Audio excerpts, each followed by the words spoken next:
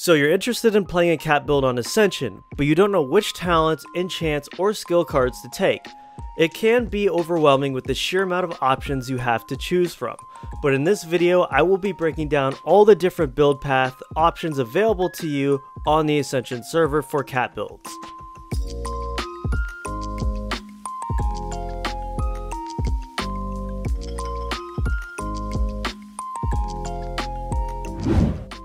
Hey everyone, Shikari Dill here, back with another video guide for Ascension.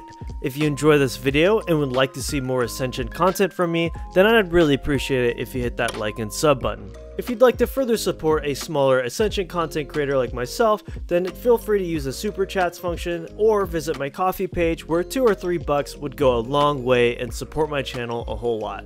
Without further ado, let's jump right into the guide. So right off the bat as an overview, let's take a look at the legendary options you have available for cat builds. These legendary enchants have varied gameplay styles and complexity and will overall determine what type of cat build you're looking to go for. Keep in mind taking an exotic pet is a valid option for cat builds but totally optional. For each section I will add additional options you can take if you opt in for taking an exotic pet. So your legendary enchant options are going to be Predator's Wrath, Razor Claws, and Lucifer. Now Predator's Wrath is an interesting playstyle, as what it does is your full combo spenders like Ferocious Bite and Rip will allow you to cast Wrath while in cat form. These Wraths will restore energy and give you a slight nature buff. This enchant, in my opinion, is probably the strongest of the three. The main reason being is you can use Mangle as your main filler ability and basically just spam it all the time, which is a much better filler ability than Claw, which is required for the other two enchants. I think this is one of the more involved cat form builds, especially if you opt into taking a pet, because you'll need to manage your dots, your pet buffs, and make sure you cast Wrath after every combo point finisher. So if you're into tracking multiple buffs and dots, this might be the playstyle for you. Next up we have Razor Claws, which is a very popular choice on Ascension and is decent in its own right.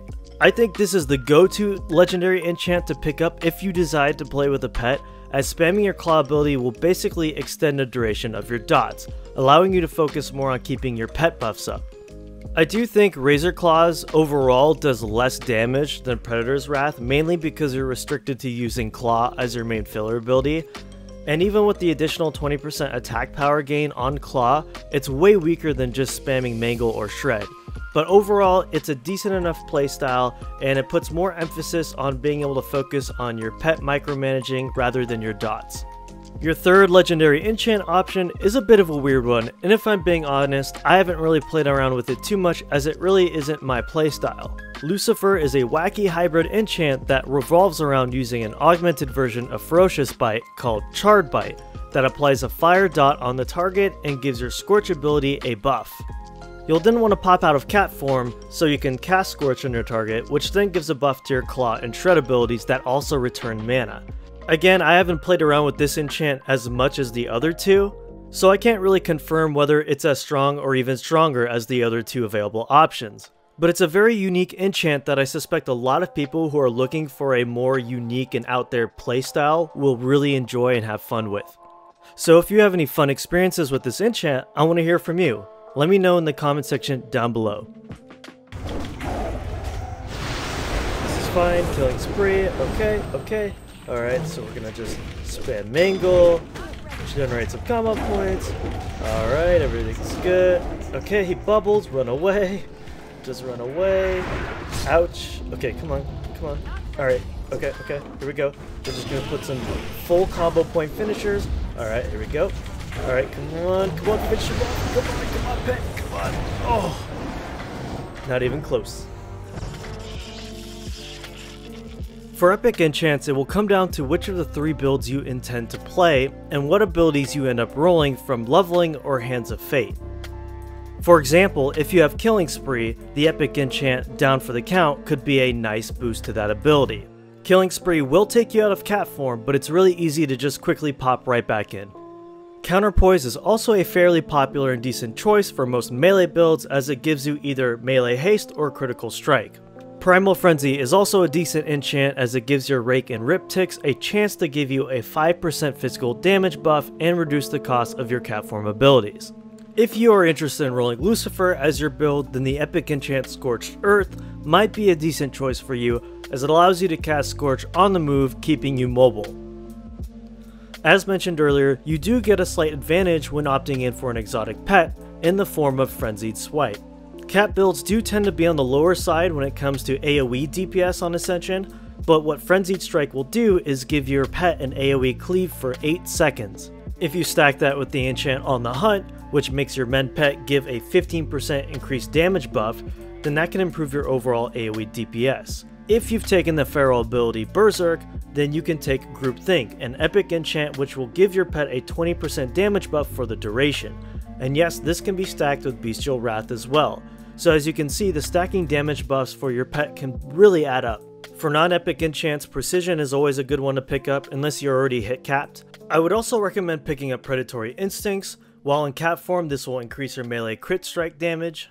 Again, cat damage AoE DPS can be a bit lower, so stacking an enchant like Feral Instinct can increase the damage of our swipe by up to 24%. If you want a faster, more spammy playstyle, the enchants Vitality and Vigor can help speed up your rotation. If you opt in for a pet, then taking Unleash Fury is a pretty good option as well. Just gonna casually charge in here, destroy him. There's nothing more satisfying than get a full hunger for blood on, on all your dots. It's just so fun. Just gonna get over here. Let's see if we can't get this guy down. Finish him off. There we go.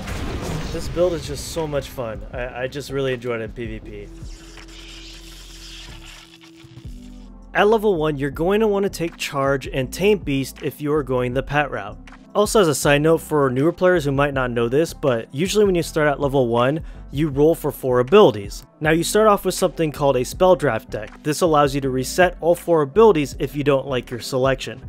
But there's an item called the dealer's draft deck that allows you to just re-roll your last ability picked instead of resetting all 4 of them. This item ensures that every ability you pick is guaranteed at level 1, so you can pick this up on the auction house or the donation store, but it really will help you with your build starting out. For skill cards, I would obviously take cat form, you just don't want to risk the RNG of never rolling for it, so just take the skill card just to be safe. Tiger's Fury, Rockbiter Weapon, Hunger for Blood, and Maim are all great options for skill cards. Hunger for Blood is a cool ability unique to Ascension, Basically, you load your target up with bleeds, pop this ability, and it gives you move speed and a damage buff per bleed on your target. If you're going for a pet, you're gonna want to grab the Beast Mastery skill card, because a normal pet just ain't gonna cut it. Intimidation, Mend Pet, and Kill Command are also great options for skill cards if you choose to go with a pet. And yes, you can use all these abilities while in cat form. Legendary abilities you'll want to take for the pet route are Berserk and Bestial Wrath. If you're not going with a pet, then you can really grab any legendary ability you want because it's really just a playstyle preference type thing. A lot of legendary abilities are just utility, so just pick whatever you like. Obviously, you're going to want to grab all the cat form abilities you can, but make sure you especially grab Swipe as that is really our only form of AoE DPS. And lastly, you can take Prowl if you'd like, however Stealth on Ascension is kinda not great unless you put points into Master of Deception and Camouflage. And to be honest, a feral opener isn't nearly as great as say a rogue, so it's really up to you on whether or not you think it's worth investing into. Hey, you're not supposed to you're not supposed to get me out of stealth. This is for show. This isn't an actual duel. Oh my gosh. But look how easy it was to get you out of stealth. Oh Duh. Oh my gosh. True. Can't deny it. And lastly, I want to talk about a few important talents that you might want to pick up. Now, one of the disadvantages of taking a pet is you're going to need to invest some points into them if you want them to be effective. Pets right now are a bit weak in terms of DPS unless you gear your build towards them. This is why I highly recommend putting points into Kindred Spirits and Unleashed Fury.